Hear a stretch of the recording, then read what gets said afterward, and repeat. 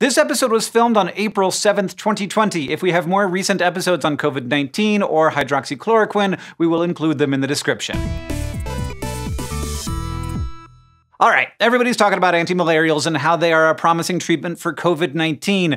Let's make the case. Some people are too excited about this, it's gonna end the pandemic if only the scientists would get out of the way. And some people, on the other hand, are reflexively saying that this definitely won't work. But science does not work that way. And when initial anecdotes look promising, that's when we investigate further. What these drugs are not is new. They have been prescribed for malaria and autoimmune conditions for decades. And those are two very different things. But if you take a closer look at the chemistry involved, you can start to understand how these drugs can do so much. But that doesn't mean that we know how they work for COVID 19, or even if they do. There are good reasons to think they might, but like with many things surrounding this illness, there's a lot we need to figure out. The two medications making international headlines are hydroxychloroquine and chloroquine. That quin in their names come from the fact that their chemical structure is similar to quinine, or as some call it, quinin. And if you've heard that name before, it's probably because humans have been using it to treat malaria for centuries. But quinine shortages during World War II prompted German and US chemists to look for alternatives. So they turned to chloroquine, quinine's chlorine-toting cousin, which was first synthesized in the 1930s. And since that has some pretty unpleasant side effects, the less toxic hydroxychloroquine was introduced in the 1950s. Now, the parasites that cause malaria are very different from the virus that causes COVID 19.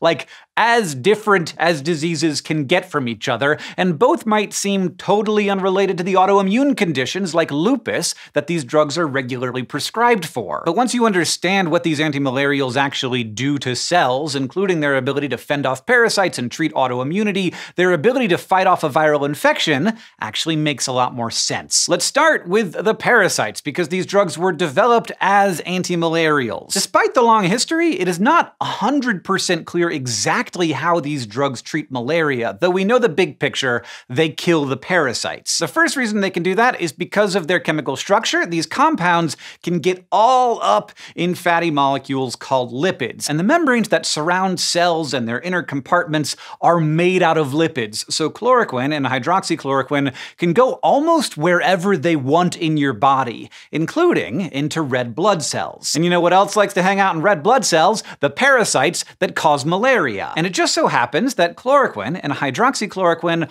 are also weak bases. In other words, they like to snatch up protons when they can, like the hydrogen ions that make solutions acidic. And once they do this, they lose their ability to pass freely across membranes. They're no longer all lipid soluble like they used to be. And that means that these drugs can get into acidic places, but they can't get out of them, so they accumulate in the parts of cells that are acidic. It's pretty cool chemistry. And experts think this is ultimately how they kill malaria parasites. A bunch of the drug ends up trapped in a stomach-like compartment within the parasite and interferes with the parasite's ability to break down poisonous substances. And boom, you got your yourself a dead parasite. But killing malaria parasites isn't all these drugs are good at. Since they can get into cells in general, not just the ones infected by parasites, they can have a lot of other effects in the body, including in the immune system. That's why they work well in a variety of autoimmune conditions. These conditions manifest in tons of different ways, but all of them are caused by the immune system going haywire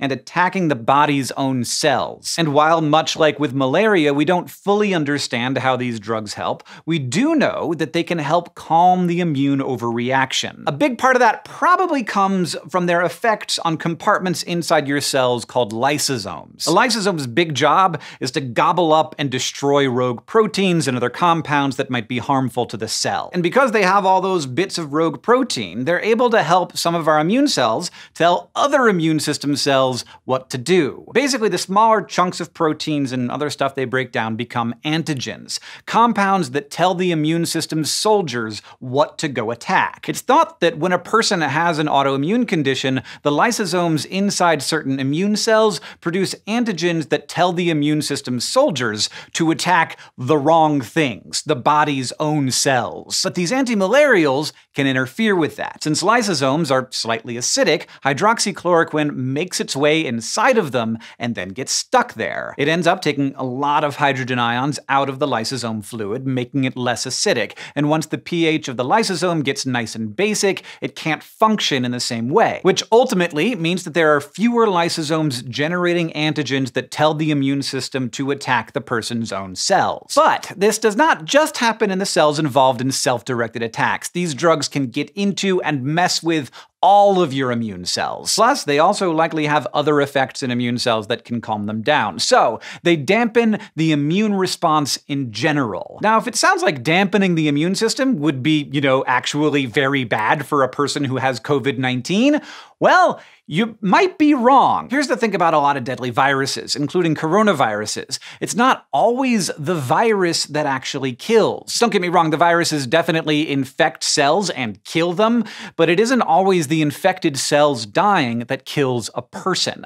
Not directly, anyway. When those cells die, your body realizes there is an invasion taking place. So, it mounts a counterattack using chemicals called cytokines, which act as a call to arms to immune cells, raising a battle cry that unleashes the full force and fury of the immune response on the infection. All of the effects of this are collectively called inflammation, and it can do a great job of stamping out an invader. The trouble is that massive amounts of inflammation can damage healthy cells too. So if a viral infection gets really out of control and kills lots of cells, the immune system's frenzied reaction may damage and kill even more cells, which call in even more immunological attackers, which causes even more inflammation. If this whole process spirals out of control, it's called a cytokine storm. It's basically the immune system equivalent of trying to kill a fly with a hand grenade, and it's the collateral damage from that that ends up killing the person. So it's thought that a drug like hydroxychloroquine, which eases up the immune response, might be able to quell a cytokine storm. At least that's one hypothesis. Another idea is that chloroquine and hydroxychloroquine hydroxychloroquine make it harder for viruses by raising the pH in cellular compartments they need to infiltrate and replicate. Viruses tend to operate best when these compartments are a little on the acidic side, and antimalarial drugs tend to make things nice and basic. And there's already some promising research in cells and non-human animals that suggests chloroquine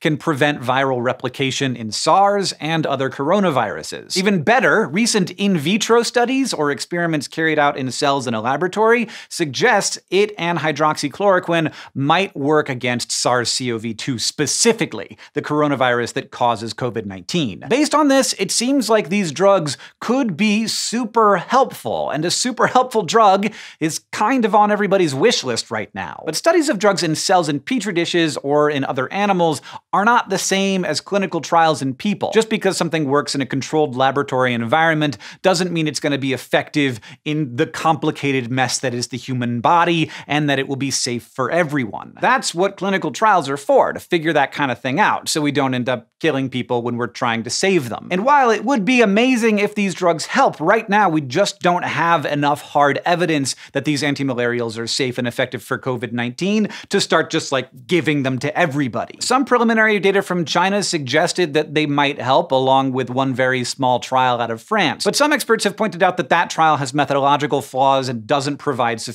evidence. And a similar trial from China found there was no significant difference between COVID 19 patients that received hydroxychloroquine and those who didn't. Multiple researchers have now concluded that additional, well designed trials are needed before we can really say whether antimalarials are actually safe and effective in fighting COVID 19. And I keep saying safe because even though these drugs are prescribed regularly for malaria and autoimmune conditions, that doesn't mean they're safe to use in treating coronavirus infections. We already know that not everyone can take these drugs safely. Like people who have a G6PD deficiency can have life-threatening reactions to chloroquine. Also, these antimalarials might negatively interact with other drugs a person is on. For example, studies have found that these antimalarials seem to slow the breakdown of the heart medication digoxin, which can cause everything from nausea and vomiting to irregular heart rhythms, which can be fatal. Plus, even in people who don't have specific reasons not to take them, antimalarials aren't totally harmless, since they pretty much much ubiquitously get into and mess with cells,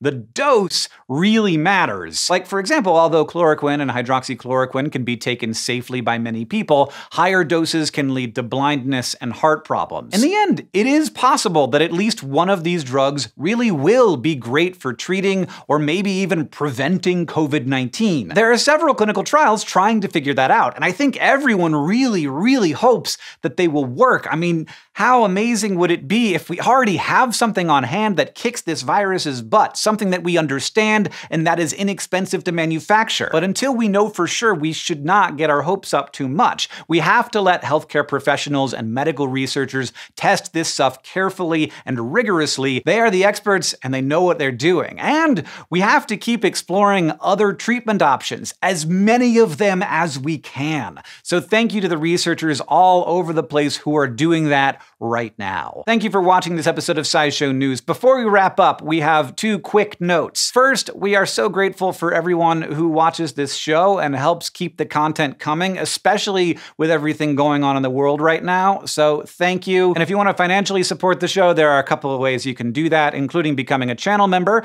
You can learn more about how to do that by clicking the join button below this video. Also, merchandise, if you're interested, you can now check out the merch shelf below the video. DFTBA.com, which is our merch provider, is open and taking orders, but they're not currently shipping out because we are not having people gather in a place to do non essential work right now. Thanks again, and stay safe out there.